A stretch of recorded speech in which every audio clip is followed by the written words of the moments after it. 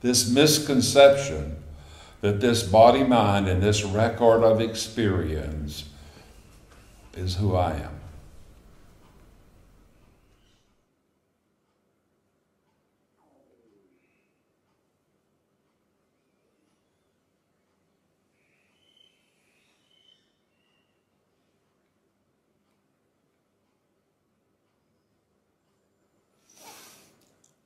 The awareness that we are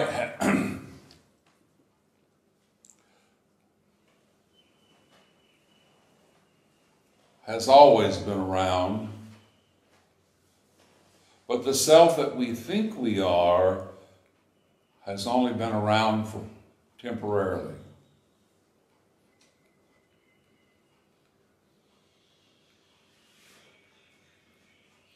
Make the distinction between the awareness that we are that has always been around and the thought that we are that has only been around temporarily.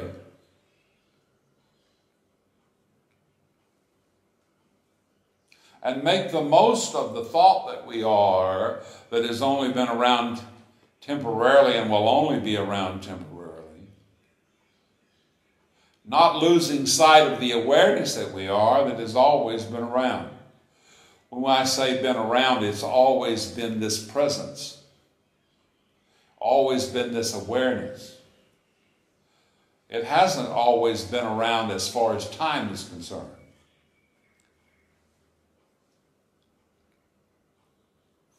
It's always been present, even long during the period that time has been here. But it's this making of this distinction between the body mind, the self I think I am, which is the I sense or the sense of me, the case history,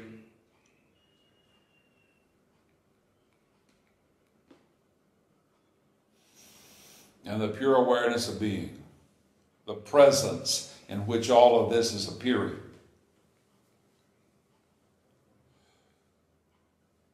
Get it that this presence in which all of this uh, is appearing is the self I am, and all that is appearing is only temporary. That's what I've identified with.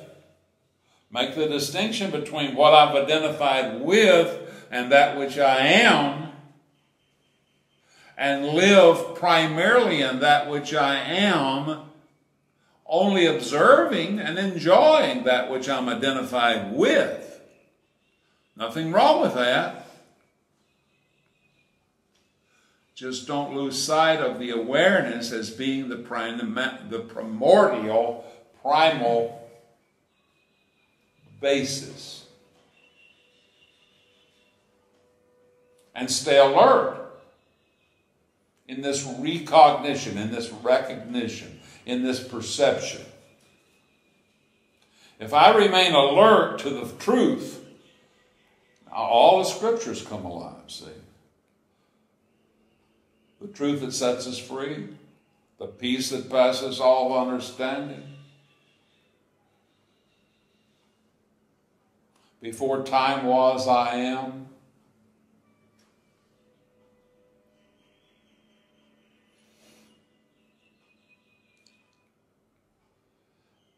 We're already free but we are not knowing that we're free, to what extent we are identified with the form, the body mind, and the case history.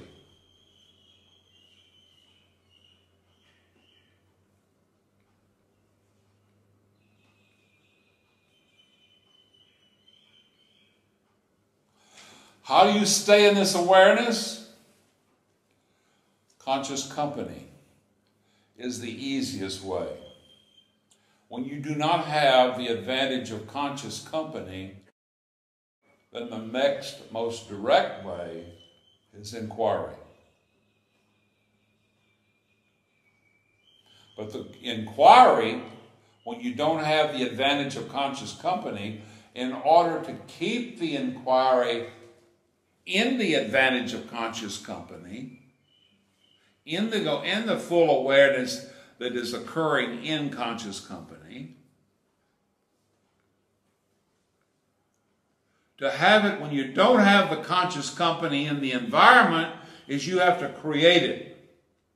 You have to sustain it. You have to maintain it. And the only way you can do that is to keep the inquiry constant. If you slip out of the inquiry back into the mind, into the body mind identification, then the environment around you is going to hold you in time and in the appearance of this case history and everyone else that is involved, which is this dream, and the nature of that is suffering.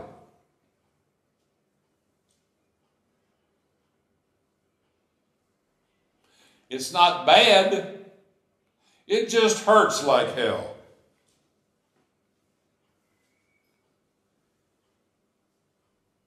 It's not wrong. It's just painful.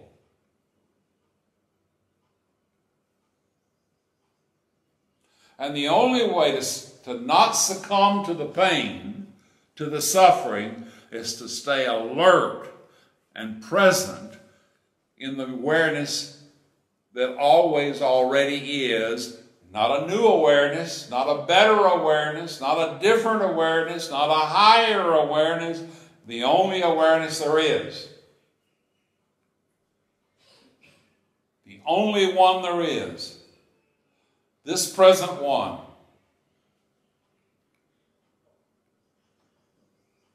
Now we have to look see, know, and realize am I choosing to be in this awareness that is happy or to live at the effect of the body, mind, and suffer?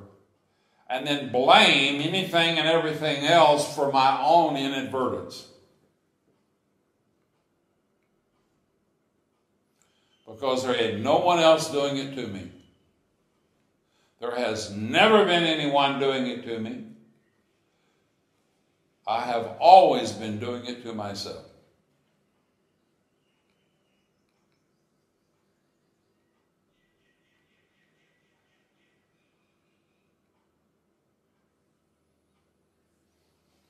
There's a lot of things that I will do when I'm suffering that I wouldn't do otherwise. And none of them work other than being awake and aware to the true nature of the self I am. Not any method works, it's only temporary. Anything that we do in the scenario of the case history, which is the dream, anything we do in the dream while we're still dreaming that the dream is real, as long as we're still identified with the body mind as though it is me, anything that we do in that identification is not going to last and not going to bring reprieve from the suffering. Not anything. I'm not saying there's anything wrong in any of the things that we do that are just palliatives, temporary ways of dealing with it.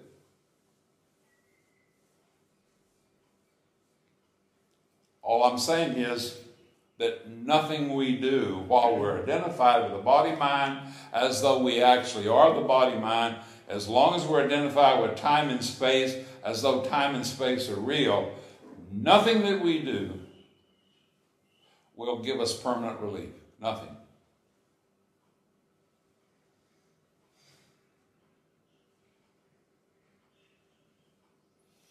Have I said it? Nothing.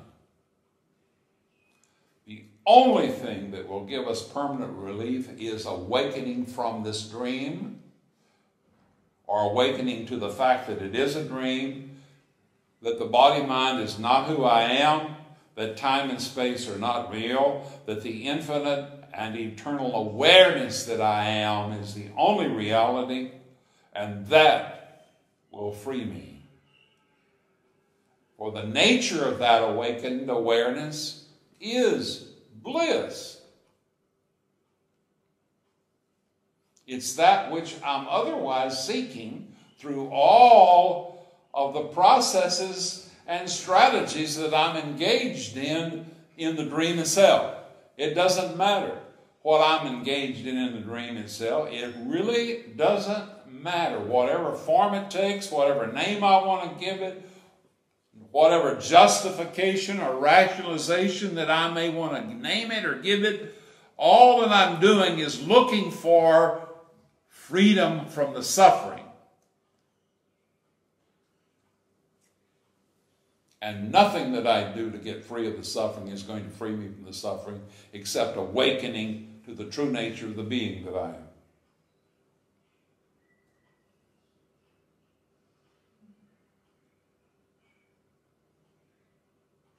Now, what are we going to do with this? We're going to see it, accept it, align ourselves in a perfect alignment with it, and live it consciously.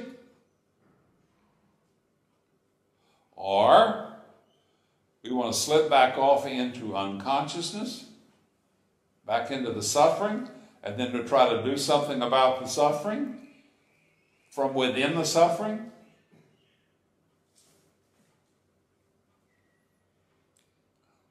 It's up to us.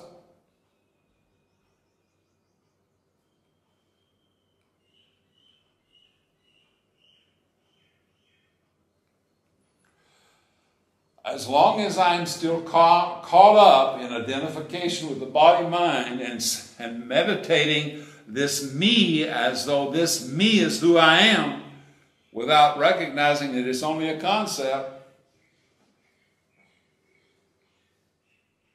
and understand something. As long as we have this body, we're going to always have to deal with this body and this mind. It's not bad. It's not wrong. The body is a vehicle. The mind is a tool. Don't judge them. Just know them for the, what they are and their natures. So you work with the nature of the thing. You know that the nature of fire is hot, so you use it to cook your food.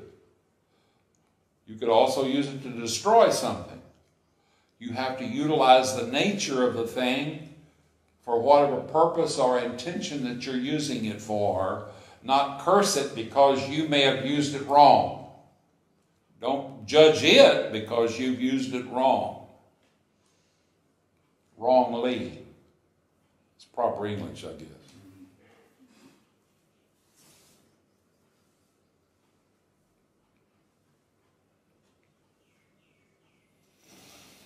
Now,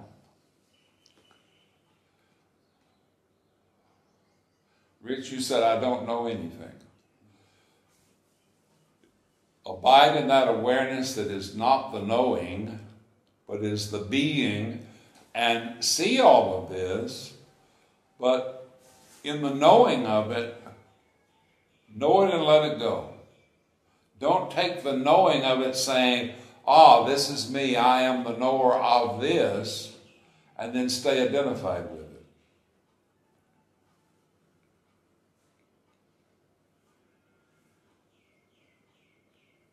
See it for what it is.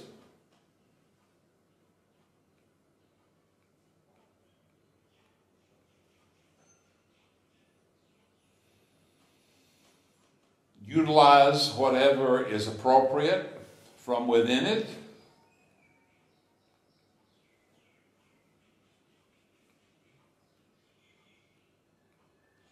Live appropriately.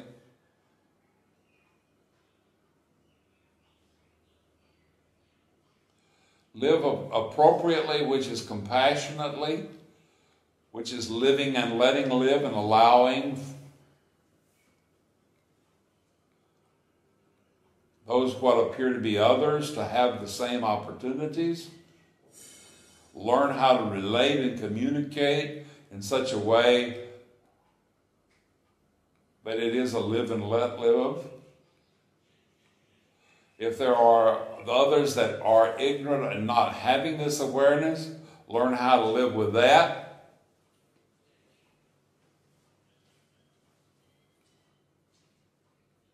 To the best of your ability, which means predominantly stay in the awareness as the awareness and see the process as it's occurring.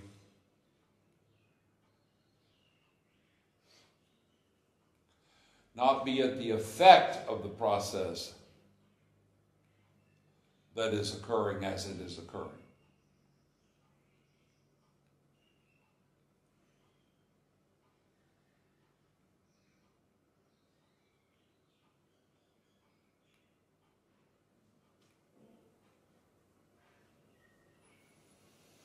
Let go of identification with the I am the body notion, for that is the suffering. Know that you have a body, but you're not the body. You have a mind, but you're not the mind. Live in this awareness as this awareness, which is without beginning and without ending.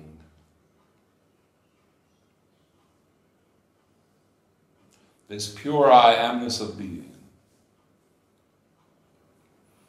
The nature is ex- pure existence, pure consciousness, and in its realization is bliss. Live in this bliss as happiness. Namaste. Namaste.